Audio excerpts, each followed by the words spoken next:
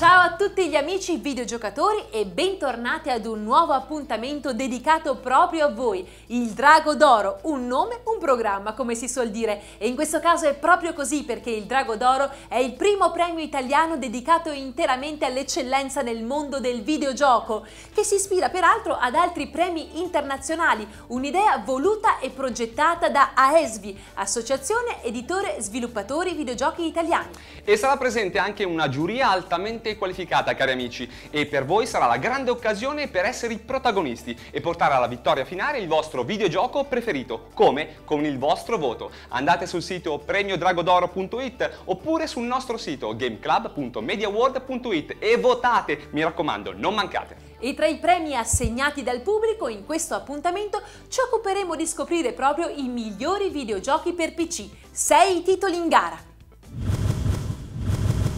Iniziamo da Diablo 3, grande videogioco di ruolo sviluppato da Blizzard Entertainment. La storia è ambientata nello stesso universo dei precedenti capitoli e comincia nella cittadina di New Tristram, vent'anni dopo l'uccisione del Signore della Distruzione, Baal, il potente demone, fratello di Mephisto e di Diablo, un gioco che ha appassionato milioni di fan in tutto il mondo. Passiamo a Far Cry 3, un FPS di grande qualità sotto tutti i punti di vista, sviluppato da Ubisoft e ambientato in un lussureggiante paradiso tropicale che nasconde un inferno fatto di follia e allucinazioni, un'avventura mozzafiato. A chi ama lo sport e in particolare il calcio, ecco Football Manager 2013, un gioco ideale per poter dimostrare la propria abilità, gestendo e portando al trionfo la squadra del cuore. Grandi le innovazioni dal punto di vista tecnico. Non poteva mancare tra i giochi in gara per PC Guild Wars 2, un super gioco di ruolo la storia racconta del risveglio degli antichi draghi, per cui il mondo è stato stravolto e si sono persi i contatti con i continenti di Cianta ed Elona.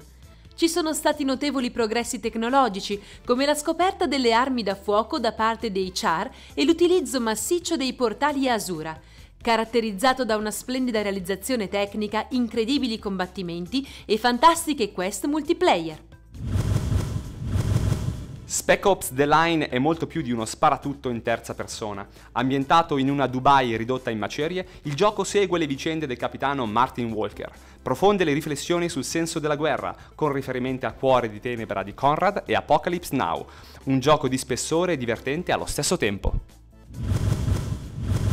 Firexis ritorna con l'eccezionale seguito del cult game UFO, Enemy Unknown, autentico classico datato 1994.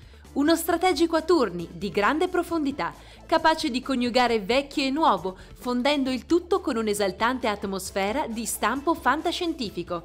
È la riscossa, finalmente anche su console, di un genere e di un certo modo di giocare per un titolo che non può lasciare indifferenti. Amici, siamo giunti alla fine di questo appuntamento, ma voi continuate a seguirci e proseguiamo quindi il viaggio insieme alla scoperta del Drago d'Oro. E chissà, magari il vostro videogioco preferito potrà salire sul podio. Votate e seguiteci, mi raccomando, ciao! ciao!